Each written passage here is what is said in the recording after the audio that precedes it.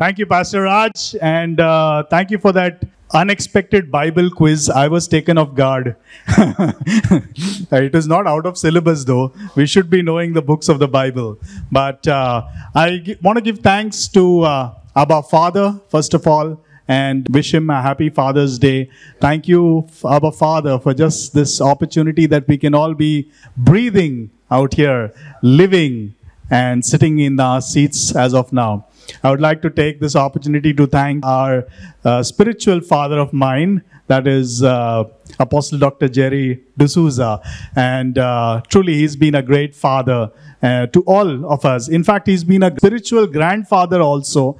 And of course, what a wonderful day that we are celebrating Father's Day just when he's become a papa, a grandpapa. And uh, it's an amazing thing. And of course, we have Joel, who's become a father uh, day before yesterday. And, uh, you know, 16th of June is uh, when he's become a father. So, uh, welcome to the Fathers Club. Amen. All right. So, you know, most of us are fathers out here. Thank you. It was a wonderful picture that we can cherish.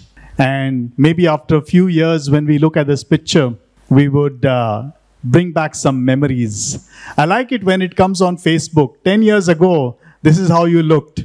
And some memories come back. And it's really refreshing to look at those memories.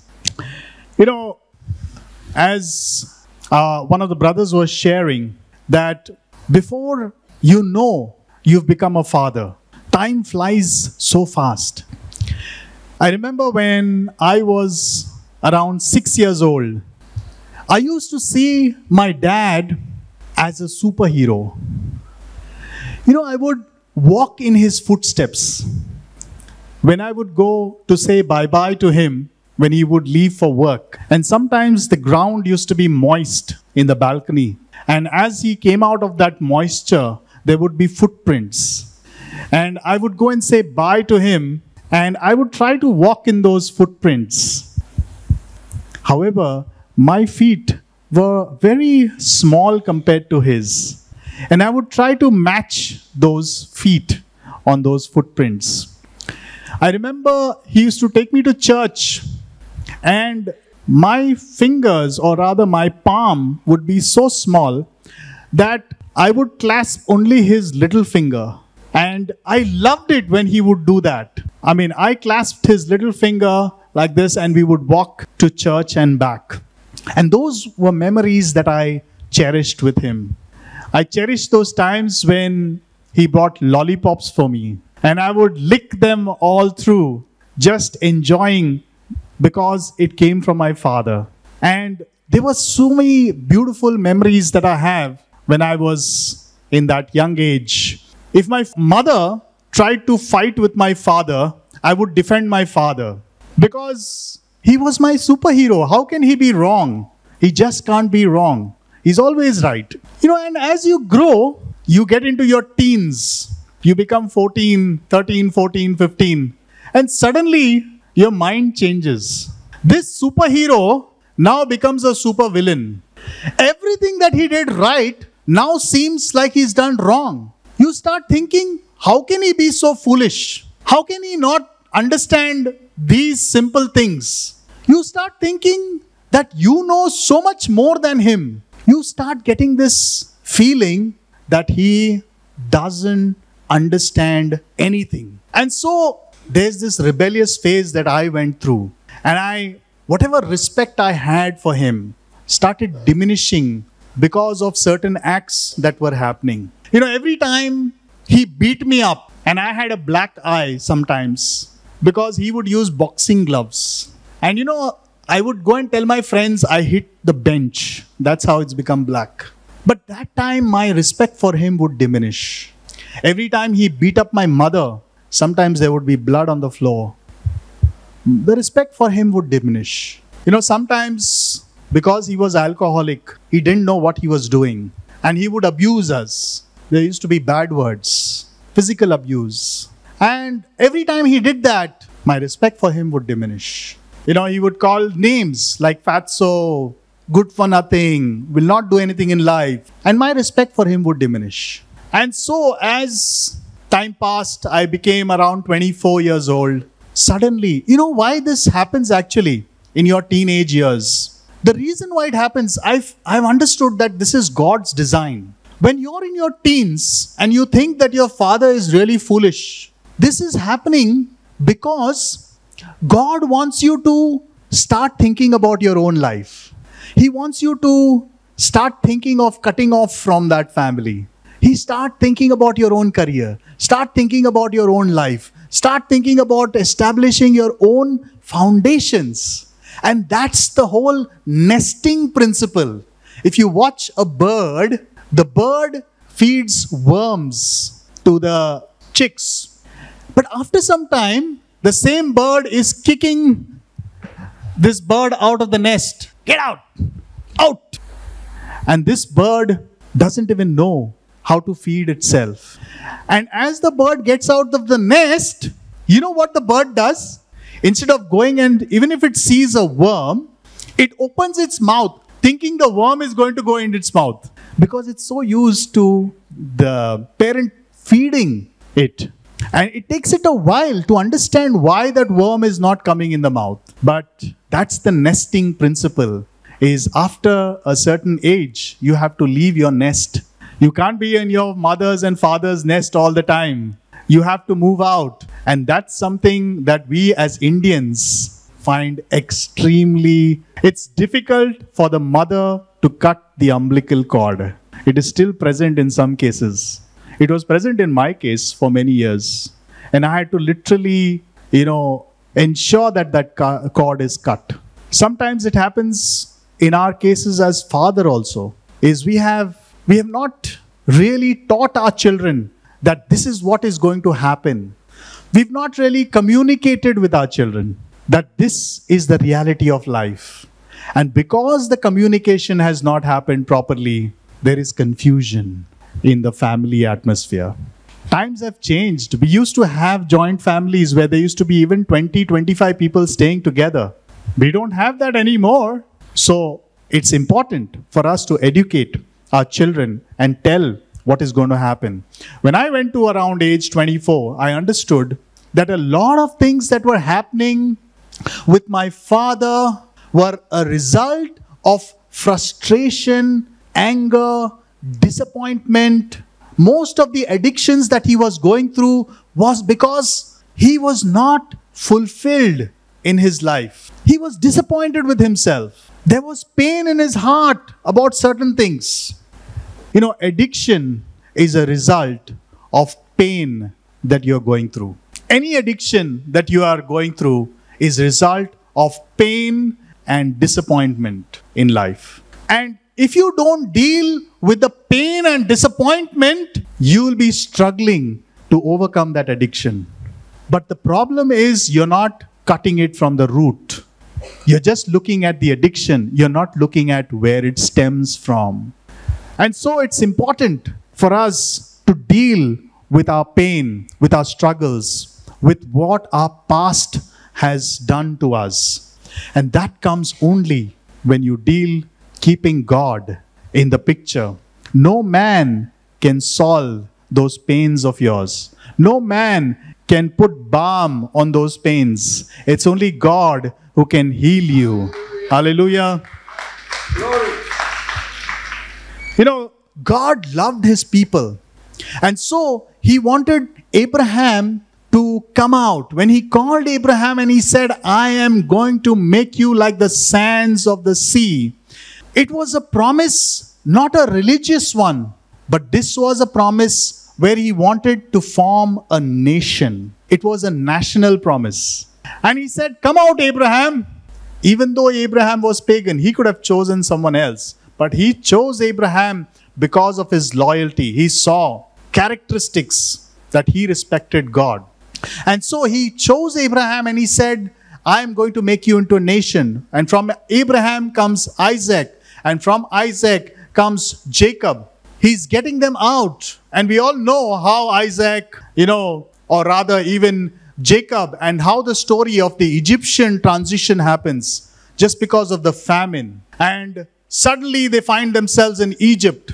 God takes them to a land where he is pruning them, preparing them. And 430 years later, he asks Moses, he says, I have to form this nation now. He takes them to a land of Goshen. Goshen means coming near to God. And he takes them to Goshen and he says, Come on, now is the time to form a nation. And 430 years later, there is a nation being formed. And Moses is given this task. You know, before any nation is formed, like we formed our nation. When did we form our nation? 1947 is when our nation was formed. And when our nation was formed, the first thing that you have is you have a constitution. And once the nation is formed, you need to have a set of rules that should be followed. If you don't have a set of rules, how will you agree on certain things that are right and certain things that are not right? And so it's important to have a constitution. You know, the constitution is the supreme law that each one of us decides to abide by. The Constitution of India was formed, and previous to that, we were actually a dominion. It was actually a dominion of India. And we changed that in a couple of years to becoming a republic. They spent almost two to three years just drafting that constitution. And of course, we know that it was spearheaded by uh, Dr. Ambedkar. A lot of credit goes to him, but there were many more people involved in drafting that constitution. We had Dr. Rajendra Prasad who was heading it. And they took most of the principles from US, UK, France, and a few more countries, and they made a draft. And through that draft, they came about with a complete constitution. Our constitution is the longest constitution in the world. With 395 articles, 22 parts, and 8 schedules, we have quite a long list, yet we struggle to do what is right. You know, it takes care, it ensures that your fundamental political code, your powers, the structure of the government institutions, and not only that, but also your own duties as a citizen are all embedded and written in the Constitution. In contrast, God gives a very simple preamble. He says, I'm not giving you 395. Right now, you just take these 10 and start the nation. Later on, of course, I'll give you all the other laws.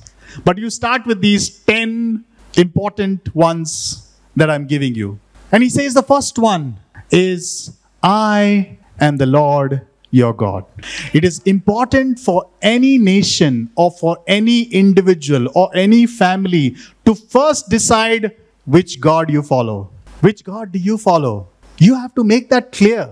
As a father today, make that clear to your family. If there's confusion in your family, tell them, this is the God we will follow. As for me and my house, we shall follow and we shall love the Lord. If that is not clear, then your family is confused. The nation is confused. The people are confused. You know, after that, God says, of course, the first four commandments, He says, it's all about me. I am your priority. And if there's anything that is stopping you from giving Him priority today, examine it. Is there your job who's taking away the priority? Is there your workplace? Is it your business? Is it something that is taking God's priority in your life because He's pretty clear and He spends four commandments saying, Focus on me. Keep the Sabbath holy because you need one day in the week just to focus on me. Don't do anything that day. Why? Not because you'll commit a sin because you cut something. It's about focus on me the whole day. Spend the whole day during the week focusing on the Lord your God and what He has said. You may be busy all through the week. You may have had a tough week. You may have had so many calls. You may, your boss must have put so much pressure. You must have put so much pressure on your employees. But one day in the week, you spend it completely focusing on the Word of God. And then he comes to the fifth commandment. He says, Honor your father and mother. Why? he gives the reason as well. He says, If you honor your father and mother, you will live long in the land that I give you. Which means there are two aspects. One is your personal longevity, and secondly, the blessings that God is giving you. You will enjoy that for a prolonged period because you are honoring your father and mother. No matter what they have done to you, no matter how they have treated you, no matter what they did to you in the past, our duties are to honor them. Honor your father and mother is the principle that God has kept in the scriptures. Anybody who follows that principle will prosper. You know, scientists have done so much research and now they have linked that fatherhood is related to many issues in society. I'll say that again. Fatherhood is related to many issues in society. When there is no father in the family, or rather, I should have said lack of fatherhood, lack of fatherhood has caused many societal issues. They are seeing that any person who doesn't have a father has more tendencies to drop out of school, even in cases when the father is not active. It could be a father is not involved in the person's life. There are cases where joblessness increases, not able to take responsibility. There are cases when drug addiction or any other addiction starts coming into the life because there is no father. Or suicidal tendencies start happening. Sexual confusions start happening in the mind because the father is not there. When I say sexual confusions, today there is a lot of confusion. And these get solved when a father comes. Why? Because a father shows the way. The father is the root of the plant. The father is the, say, root. If you're a father sitting there, say, I am the root. Because you are the foundation of the plant. You are the one who is taking the nutrients out of the soil. You are the one who's taking and grasping and sucking out all the water that comes from the ground. And then you are transferring it to all the leaves and the fruits and everything in the plant. As a father, your relationship with God is the one that will provide the nutrients for your family. Hallelujah. Come on now. Are you sleeping? You, as a father, will be the source of nutrition for your family.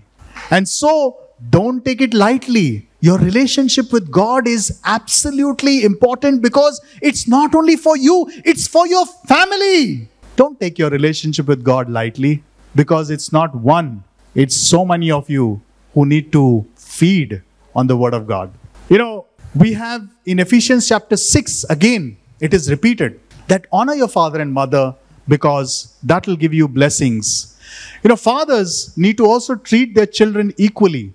We see in the case in Genesis 25 28, we see how Isaac he was favoring Esau over Jacob, whereas Rebekah was favoring the opposite, Jacob over Esau. And in some families, favoritism could be an issue. Understand that if you have more than one child, practice not to have favoritism and say it in words. You must remind them because children always feel if you have a sibling, you'll always feel, ah, usko jada diya, merko kam kiya. You're always favoring him. You always, you are not saying anything to him. See now, look, look, look what he's doing. You know, these things always happen when there are siblings. But as a father and as a mother, we need to make sure that you tell your children that you are equal. You don't have to justify every act. Usko क्यों ज़्यादा lollipop दिया Usko क्यों ये किया all that you don't have to justify but keep telling your children that you are equal when you share things also share them equally so that they feel equal. You know, in this case, there was resentment that was happening. It happened in the case of Jacob, where he felt resentful about the favoritism, and then it continued with Joseph as well. Jacob started doing that to his children, and he had a favorite out there. What happened because of that? His brothers got jealous on him, and he had to face the consequences. So, ensure that there is no favoritism. You know, God gives us the best example. God says, you know, if, in the prodigal son, if you see, God does not have favoritism. Even to the fact, if, you know, an earthly father would say, Gao, chod usko, rene de. Bhagya ghar se, wapas mat aana kabhi. You know, that's what an earthly father would have said. Don't come back. Don't show your dirty face. But that's not how God is. The prodigal son knew that he can come back to the father. He had full faith that he can come back to the father because he knew his father. And today, if you feel like a prodigal son, understand that you have a father who is willing to accept you no matter what you have done no matter how much sin you have committed, no matter how deep in trouble you are right now, no matter what you have done in your life. Heavenly Father is willing to embrace you. In fact, He will come running through the fields to meet you halfway through. That's the loving God that we have. You know, we need to understand that God loves us tremendously. You know, godly fathers, you need to understand that you need to love your wives, wife rather. You know, most families, we have this confusion. As we are raising our children, we start putting our trust in our children. And the love for each other starts dying. The mother starts putting all the love in the children, and the father starts putting all the love in the children. And you know what happens? Faulty expectations start building up. Why I have to so love my children? Because when in my old age, na, they will only take care of me. Na. If I don't love them, then they may not take care of me. So I have to love them. But what about loving your wife? She's the one you married. She's the one you have to love. She brought the children to get to you. You know, it's absolutely important to follow the basic principles of the family. The moment you go against those principles, you're in trouble. Tomorrow, your children may not take care of you. Then, where will you go? Your spouse is going to be there with you for life. Love your spouse because your children will be gone in some times, in some time. You know, we know in the Bible in 1 Samuel chapter 1, verse 5, we know Elkanah was a wonderful dad.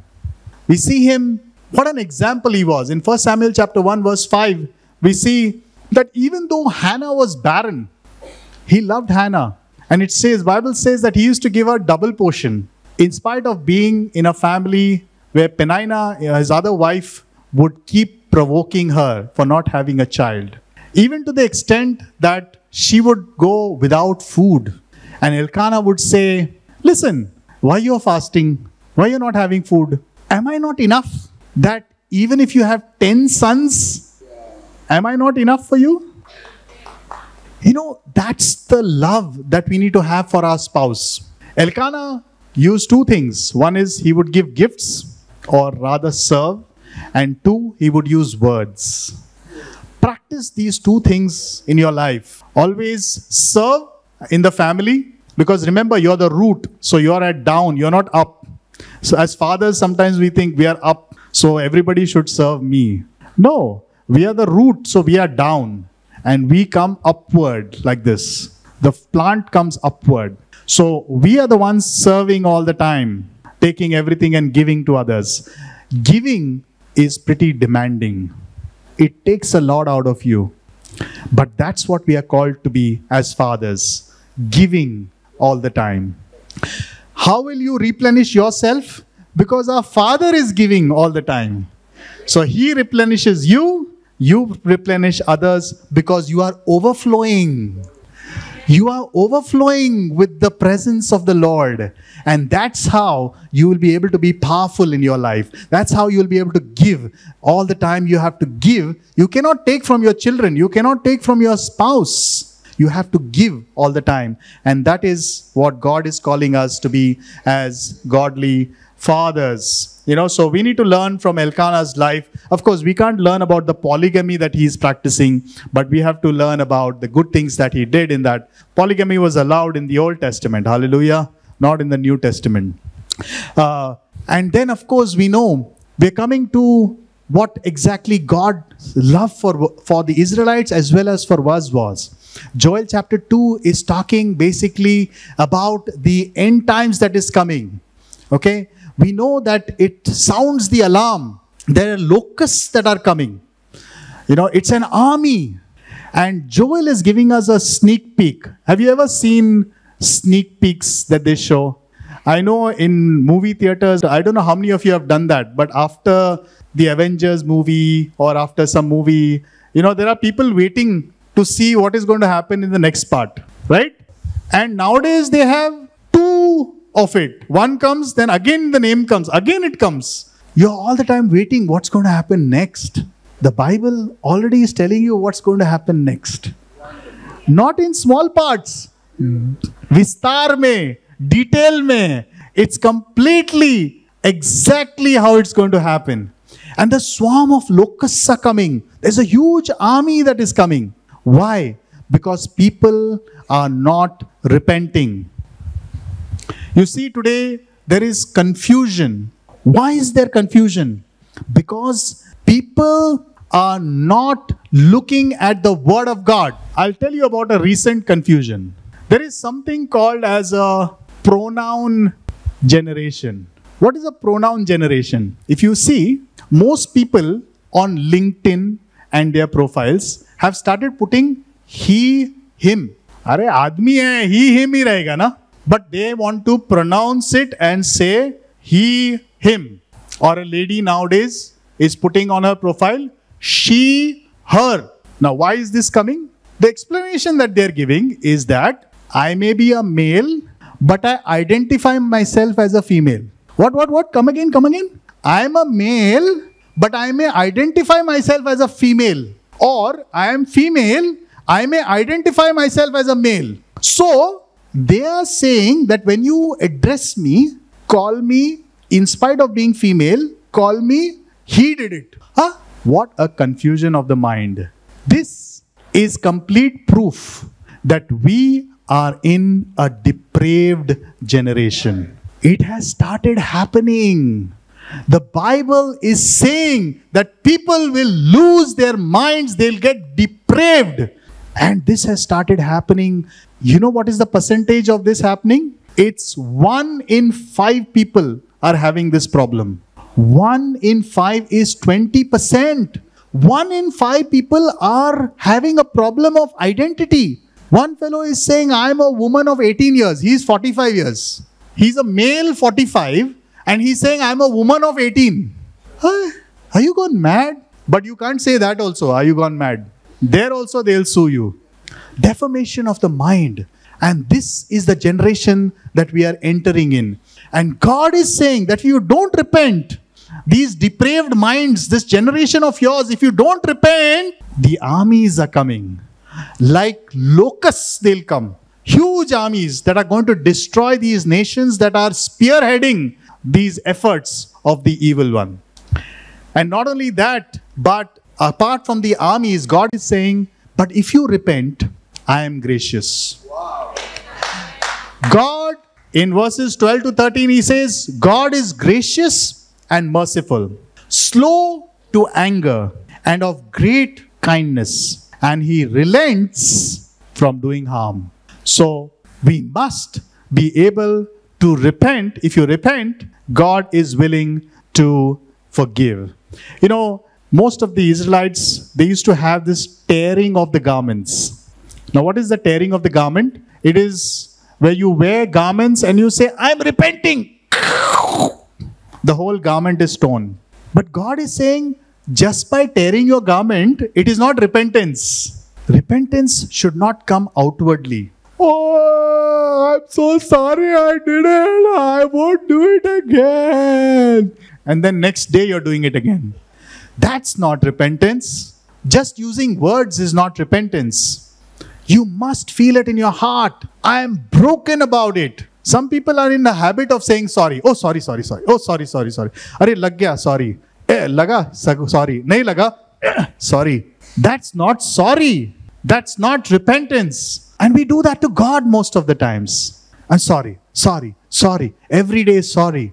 That's not what God wants. God doesn't want a sorry, He wants a broken heart. And that's what He's talking about in verses 12 to 13. And then we go to the final and the best part in verses 28 to 29. And we read that this morning. And He says, I will pour out my spirit on all flesh. Wow.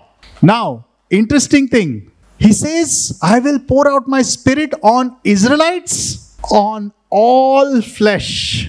And this exactly happened in the book of Acts, where he was pouring out on the day of Pentecost.